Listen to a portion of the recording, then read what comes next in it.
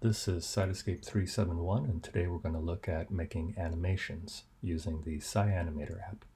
I went ahead and opened the sample session file called Yeast Perturbation and next we will install the CyAnimator app. Go to the Apps menu, click on App Manager. You can just begin typing CyAnimator and it'll filter the list. Click Install and there it is. Go back to the Apps menu and you'll find CyAnimator. And the user interface is simply going to be a collection of keyframes that we get to define. And then CyAnimator will interpolate or animate between them to make a small movie. The keyframes are defined by exactly what you see in your network window, including the zoom level, whatever's cut off, whatever's visible, whatever node fill coloring you have, etc. So let's go ahead and add our first frame. You'll see it's a thumbnail of exactly that view. Say we want to focus on MCM1. The next thing we might want in our animation is to then zoom in so we can position that exactly how we want it and then define our next frame.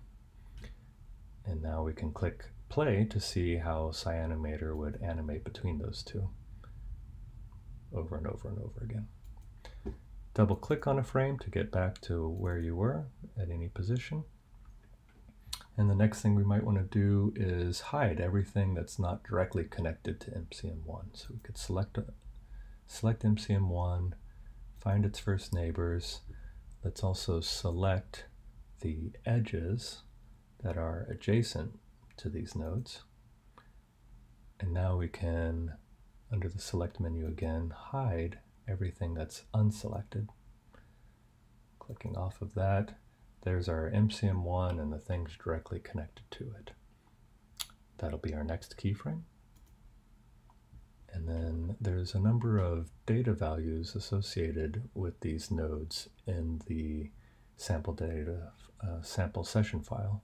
So under style, we can expand fill color and see that we have gal1r g expression currently mapped as continuous variable.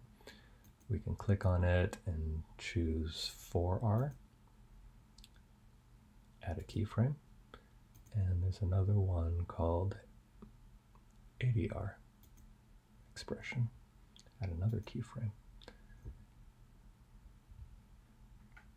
And another thing we can do is add annotations under the annotation tab we could add a bounded text annotation that says we can spell out the name of MCM1.